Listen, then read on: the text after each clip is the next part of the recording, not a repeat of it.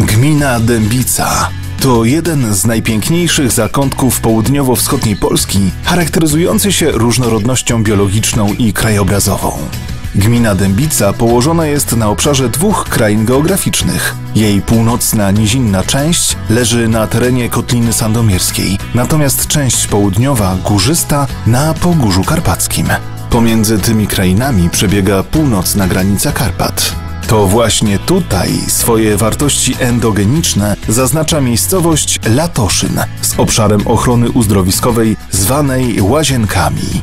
Gmina Dębica zamierza w tym miejscu reaktywować uzdrowisko z możliwością eksploatacji wód mineralnych i prowadzenia leczenia w zakresie chorób ortopedyczno-urazowych, reumatologicznych i neurologicznych. Gmina Dębica to także wyjątkowa fauna i flora objęta obszarem Natura 2000, obfitująca w zabytkowe drzewostany, parki dworskie, pomniki przyrody ożywionej i nieożywionej.